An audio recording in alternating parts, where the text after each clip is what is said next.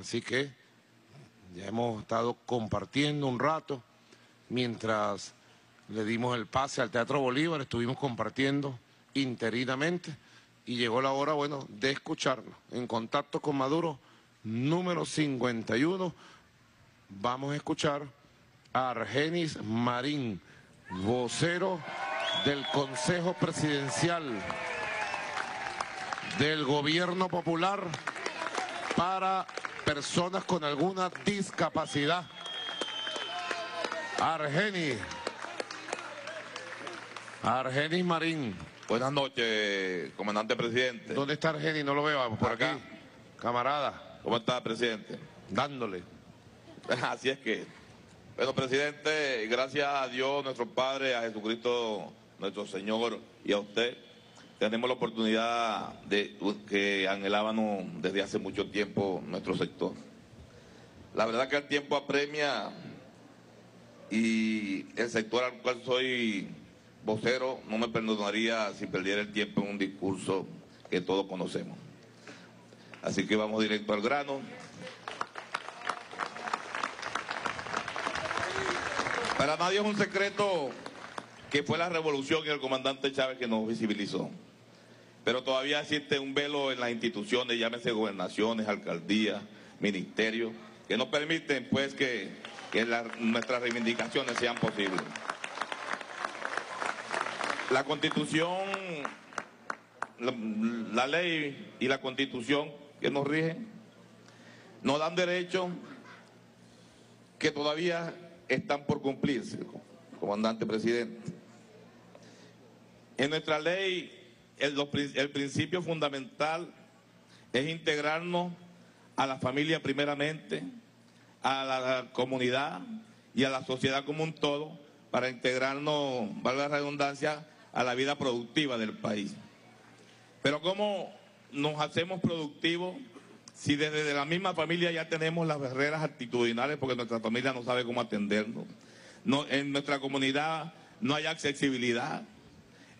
Cuando si salimos de nuestra de nuestra casa, de nuestra residencia, encontramos la barrera del transporte. La ciudad no está accesible para las personas con discapacidad.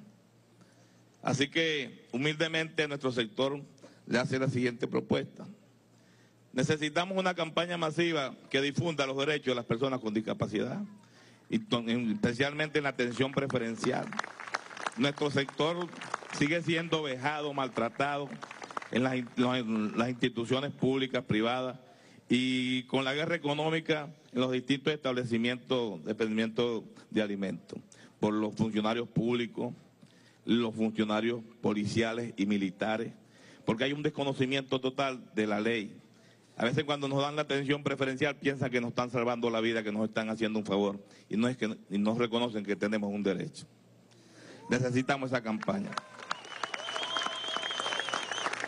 También necesitamos que las instituciones públicas, llámese a nivel nacional, estatal y municipal, desarrolle un plan, un programa de inserción laboral para cumplir el artículo 28 de la ley que nos asigna un 5% de empleo a las personas con discapacidad de la nómina total. También necesitamos que coordinar y desarrollar un plan para la adecuación de las instituciones públicas y los cascos centrales y los, los urbanismos nuevos que están naciendo, que nacen sin accesibilidad. ¿Quién da los permisos? ¿Por qué permiten que desde el 2007 que nació la ley sigan surgiendo edificaciones, urbanismo, que no tienen accesibilidad ni seguridad para los, mis camaradas con discapacidad visual también? Necesitamos que del porcentaje de viviendas que se asignan a la población nacional se designe un porcentaje igual que el del artículo 28 de empleo, el 5% de las viviendas sean asignadas obligatoriamente a las personas con discapacidad. No somos tomados en la asignación de vivienda por el gobierno nacional, estatal o municipal. Por otro lado, en las cadenas mm, presidenciales, en los programas de información y opinión necesitamos que se aparezca el cu- recuadrito, el lenguaje de señas, pero que también haya, haya el, los subtítulos, porque entre nosotros hay discapacidad visual, discapacidad auditiva, todas las discapacidades. Algunos sabemos leer, otros no sabemos leer. Pero hay camaradas con discapacidad auditiva, pero sí saben leer, pueden leer el subtítulo, otros la seña. Bueno, el transporte. Ahorita mismo todos los, los estados tienen vehículos accesibles, pero los que están de, data, de vieja data todavía no se han adecuado. Nos maltratan, nos vejan. Yo sé que no es fácil la inversión y en este momento es más difícil, pero esto data del 2007, no se ha cumplido la ley. Los usuarios, o perdón, los, los transportistas nos maltratan y nos vejan, nos, insultan. No tanto a las personas cuando tienen la discapacidad visible, sino a los camaradas con discapacidad auditiva, que no se les nota la discapacidad, dicen que tienen que obligatoriamente pagar el pasaje. Hay líneas que no hacen el descuento extraurbano del 50%. No hay un coto a eso. No hay quien le ponga un coto a ello. También en la parte del deporte no hay una, inversión, presidente. Ahorita mismo estamos haciendo la constituyente deportiva y no somos tomados en cuenta en ello. Hacen un análisis a, nivel, el, siguen en lo mismo, en la parte de arriba, en el deporte de alto rendimiento, pero masivo, pero a nosotros tallercito para que conozcan cómo se tratan a las personas con discapacidad. Las instalaciones deportivas ninguna son accesibles. No hay entrenadores en la discapacidad de ninguna materia. Tenemos una deuda con el reglamento de la ley para las personas con discapacidad. Ya se le entregó un proyecto de ley al vicepresidente Arriaza cuando nos visitó. Creo que está adelantado a esa parte. Es un anhelo el reglamento de la ley, pero también debemos luchar para que nuestra ley sea elevada al rango de ley orgánica. Por otro lado, comandante presidente, y para combinar, creo que ya se me termina el tiempo, eh, a los adultos mayores se les ha asignado pensiones. En nuestro sector hay personas con discapacidad que no pueden laborar, incluso que, madres que tienen niños con discapacidad que no los pueden dejar solos porque mm, tienen que cuidar a sus niños no, tienen un ingreso. Le agradecemos la posibilidad de que sean incluidos en pensiones para ese tipo de personas. Un porcentaje de la que se le están entregando a los adultos mayores por la misión mayor. Los proyectos socioproductivos necesitamos apoyo. Nuestro sector, nuestro sector tiene muchos proyectos. Aquí está el camarada de Varina, Fabricio Figueredo, que tiene muchos proyectos que se están desarrollando en, el estado de Guarina que se pueden llevar fácilmente a todo el territorio nacional. Necesitamos activar la economía. Así que esperamos respuesta de usted, señor presidente. Muchas gracias. Bueno, gracias Argenia, además porque hizo un tremendo esfuerzo. Yo tengo aquí el documento del Consejo Presidencial para Personas con Discapacidad. Utilizaron la metodología de la revisión, seis puntos allí. Rectificación, también agregan un conjunto de puntos y propuestas en lo económico, en lo político. Plan para la Asamblea, plan para lo comunicacional. Y Argenis ha hecho un, un esfuerzo tremendo de síntesis y además con un tono bueno, crítico, autocrítico y propositivo. Cada una de estas cosas, ¿tú sabes qué siento yo? Aquí hay camaradas que hemos compartido tantas luchas. Tarek, Tarek no era ni diputados ni nada, y cuando nos metían presos a nosotros, cuando no estábamos presos nos estaban buscando. Sí, la represión aquí era terrible. De la DICIT de entonces. Nos metían, nos secuestraban. Siempre llegaba Tarek, defensor de los derechos humanos, a, salvarnos a todos, pues. Aristóbulo también, estaba yo echando un cuento a Aristóbulo cuando estaban ustedes por allá, de tantas luchas, ¿no? Para citar a dos compañeros nada más. yo siento que la Venezuela profunda es esta, que dice que hay cosas que debimos haber hecho y por diversas razones, todas vinculadas a la burocracia, a la indolencia, no se han hecho. Y es nuestra responsabilidad. Y eso marca los procesos. Y debemos hacerla como el resurgimiento de un poder popular, de un poderoso poder popular. Porque no se trata solamente del asistencialismo, que hemos caído en asistencialismo, por diversas razones.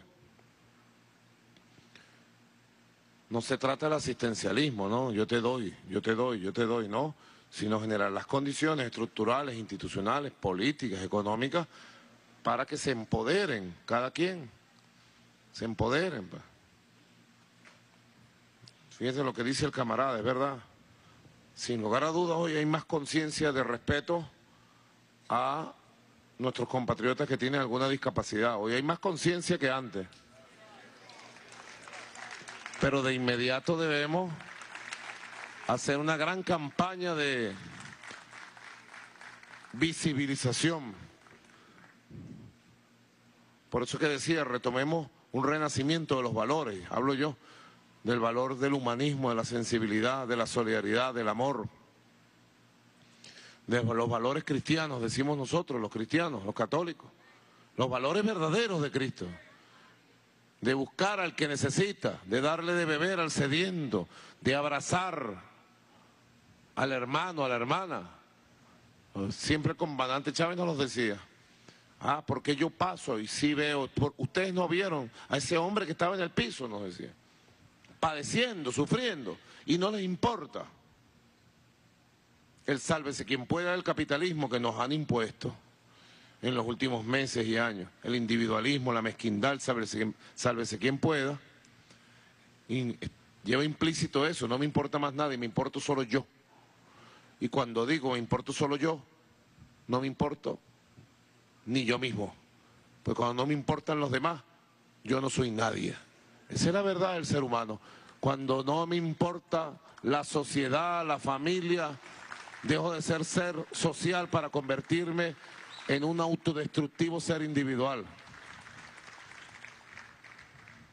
Y todo esto lo digo sobre lo concreto de la intervención de Argeni, del Consejo Presidencial. Hay que articular todas estas decisiones. La campaña, el 5% en el trabajo, la adaptación de edificaciones, infraestructura, haciéndonos más exigentes, el deporte masivo para la salud, porque sin lugar a dudas ha habido bastante apoyo a los de alta competencia, que le han dado glorias a Venezuela. Nuestros deportistas con alguna discapacidad nos han traído campeonatos suramericanos, centroamericanos, medallas de oro panamericanas, olimpiadas. Ha habido grandes logros por primera vez en la historia. Pero bueno, hay que llevar la salud a todos, que todos practiquen deporte, que todos tengan un ejercicio físico, que todos tengan una cultura física, que todos puedan estar allí, desde pelotique goma hasta el básquet, todos los deportes que puedan desarrollar. Estoy de acuerdo.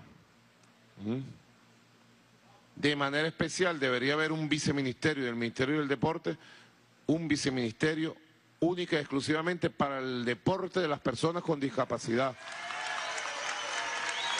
Que se dedique solo al plan nacional deportivo, tan importante, ¿verdad? Aquí estamos haciendo un esfuerzo, fíjate, por iniciativa de Deciré Santos Amaral, colocaron la compañera de señas. Claro, ella tiene que ser, tiene que estar en muy buenas condiciones físicas, porque un programa de esto puede durar cuatro horas. Vamos a tratar de hacerlo más corto, ¿verdad? Siempre hay varias. Bueno, aquí tenemos suplentes.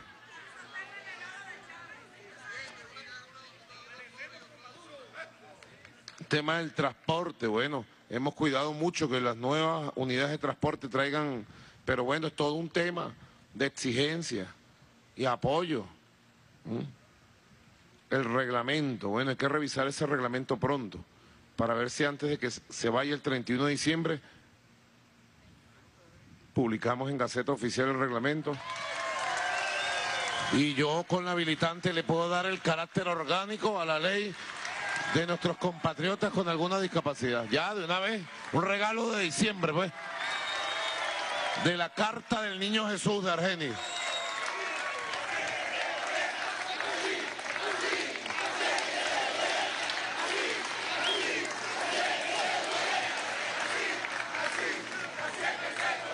Igual, fíjense ustedes, yo he estado todos estos días trabajando el tema de las finanzas públicas 2016, 2017, visualizando.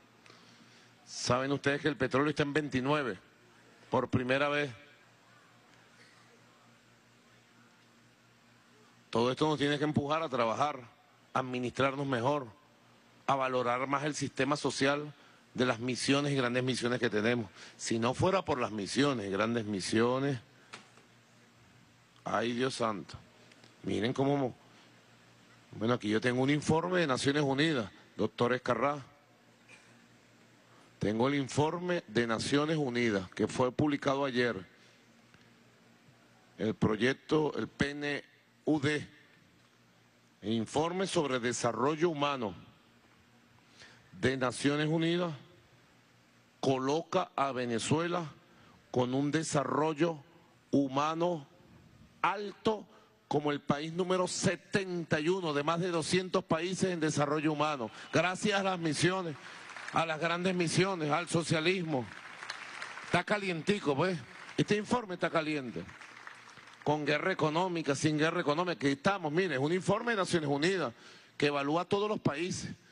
Ustedes se quedarían locos, yo no voy a nombrar ningún país, pero se quedarían locos el nivel de desarrollo humano que hemos logrado y los países que están, digamos, por debajo de los índices que ya Venezuela ha logrado.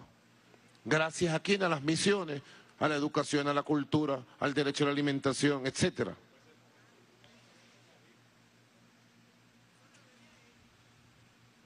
Y este año 2015, yo lo voy a repetir mil veces, porque hay gente que no lo escucha la primera, no lo escucha la segunda ni con señas lo escucha. Pero ahorita hay mucha gente que con la bofetada del 6 de diciembre lo está escuchando. Y hay mucha gente que se dio cuenta. Hay mucha gente que dijo, ahí, ¿qué hicimos? Hay mucha gente que dijo, Dios mío, no fui a votar. No voy a preguntar quién no fue a votar aquí, porque son nuestros hermanos. Yo fui a una reunión dos días, tres días después con mucha gente en un sitio X, no voy a decir dónde mucha gente. Algunas reuniones que yo voy no las televiso, sino que estoy allí para escuchar.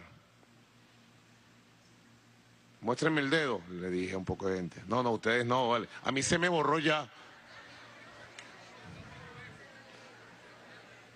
Aristóbulo, la mitad, un poquito más de la mitad de los que estaban ahí, compatriotas, no habían votado. No les pregunté por qué porque todo tiene su momento, pues. Primero cada quien se revisa. Y hay mucha gente, inclusive, que ha votado por la oposición que Dios, ¿qué hicimos? Nos metimos en una trampa peor, Dios mío, ¿qué hice? ¿qué hice? Me lo dijo una gente, familiares, de familiares, de familiares, que nunca han votado por la revolución, pero esta vez dijeron, Dios mío, ¿qué hicimos?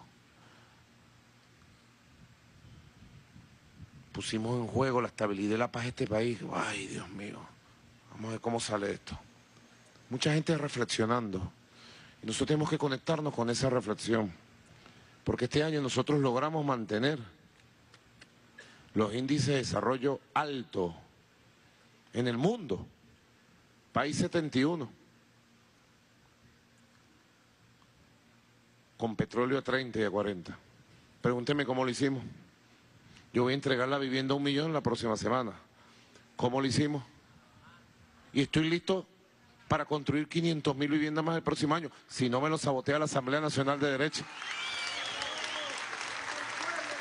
¿Y cómo lo voy a hacer? Con trabajo, trabajando, mira, trabajando, ahorrando, administrando, invirtiendo, haciendo de tripas corazón, a pesar de los ataques del imperio, de la guerra, manteniendo cada plan, la misión Robinson productiva, pues para que termine de sacar su sexto grado más de un millón de compatriotas, pero además tenga una actividad económica, para que produzca arroz, caraota, para que se meta carpintero y aprenda bien la carpintería y haga unos muebles bien bonitos y arregle, o a plomero, o mil cosas, o tenga una cooperativa productiva, o una pequeña industria, o se meta, etcétera, etcétera.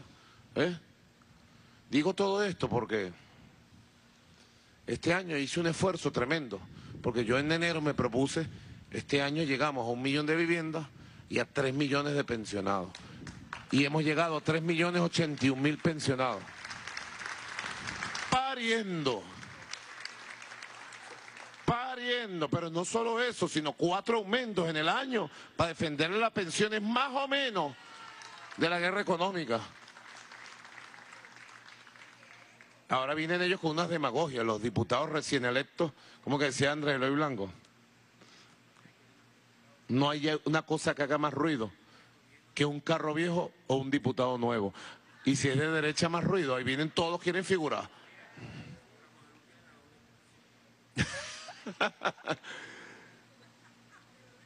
Pariendo.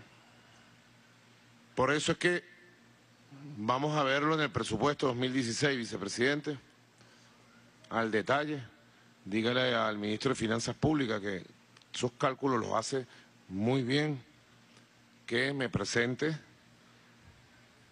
un proyecto para sustentar económicamente y plantearnos, por lo menos ahora, en el 2016, por lo menos 30 mil pensiones para compatriotas con alguna discapacidad, de manera directa y responder a la propuesta y el anhelo de estos compatriotas por lo menos 30 mil.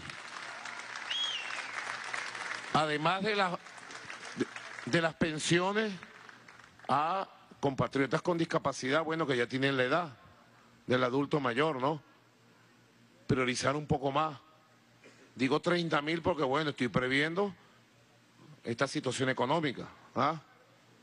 que no es concha de ajo, como dice Juan Arias, no es concha de ajo, ¿verdad? Y además estoy previendo que voy a tener en la asamblea, ustedes saben, una gente que no es racional. Una gente que, siendo minoría, se opusieron y votaron en contra de las pensiones, de las misiones. Una gente que jamás reconoció las reglas de juego de la democracia. Una gente que lo que viene es a ver por dónde se meten para destruir el proyecto bolivariano, el proyecto revolucionario. Yo no me caigo a coba, que somos demócratas, que queremos diálogo. Demócrata yo, caballero, que los llamé aquí, victorioso. Demócrata Hugo Chávez, que los llamó mil veces. Regresó de un golpe de Estado y los llamó. Yo no visualizo todavía ningún dirigente serio, sensato, patriota y demócrata en la oposición. No me perdone Dios, pues, si estoy blasfemando. Le pido perdón a Dios si blasfemo a alguien pero no creo que estoy blasfemando a nadie, es la realidad. Por eso es que ellos hablan, vamos a cohabitar, Maduro. ¿Cohabitar yo con la burguesía? ¿Cohabitar con los que se arrodillan a la embajada gringa para destruirnos? Yo sé dialogar con todo el mundo. Y sabemos nosotros dialogar. Lo hemos demostrado mil veces. Pero los puntos de un diálogo tienen que estar muy claros allí. Mientras tanto, comunicaciones. Ellos mandan mensajes y nosotros mandamos mensajes. Pero lo que le han hecho a este país en la guerra económica no tiene nombre. Lo que le han hecho en alianza con el gobierno de Estados Unidos y las maldades que planifican no tiene nombre. Lo que hicieron con la electricidad, siete electrocutados en cinco semanas. Le quitaron la luz a un poco de gente aquí no tiraron el apagón general que tenían planificado, no, fue quirúrgico. Quirúrgico, golpe quirúrgico. Ahí donde vivo yo, yo vivo en el Valle, en la parroquia del Valle. Y allí nos quitaron la luz por sabotaje a tanquillas y cosas. Los últimos 15 días, siete veces. ¿Para qué postinar al pueblo? Lo que han hecho no tiene nombre, no. Ellos dicen, no somos nosotros. Y le hace una entrevista larga por ahí a uno y otra entrevista y todos dicen lo mismo. No, no es el imperialismo, no somos nosotros, no. Entonces, previendo eso, vamos a irnos por lo seguro. Vamos a crear 30 mil pensiones especiales para la gran misión José Gregorio Hernández dirigido directamente a ustedes, compañeros y compañeras. ¿Están de acuerdo? Aprobado. Bueno, fue larguito el primer consejo. Si seguimos este ritmo nos pueden dar las 5 de la mañana. Yo, yo tengo una reunión a las 7 de la mañana, tendría que irme de aquí a las 6. Y Aristóbulo también tiene un programa a las 7 de la mañana, ¿no? Ah, mira.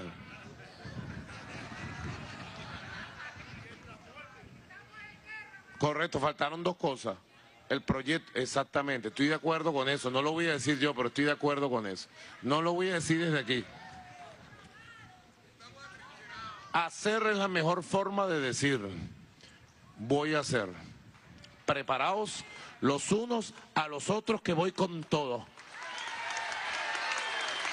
Hacia un renacimiento hermoso del espíritu original del bolivaranismo y del chavismo y del constitucionalismo del siglo XXI. Esto es una hermosura aquí. Pura poesía hecha realidad. Sobre los proyectos socioproductivos.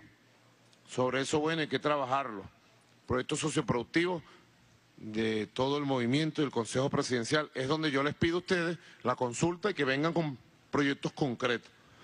Y sobre la vivienda, eso es solo una orden que hay que dar le doy la orden al ministro de Vivienda, Manuel Quevedo, que se reúna con el Consejo Presidencial de Compatriotas con Discapacidad y el 5% de las viviendas globales de la Gran Misión Vivienda Venezuela sean para personas con discapacidad. Que se cumpla, que se cumpla estrictamente esta orden, querido compañero ministro Manuel Quevedo.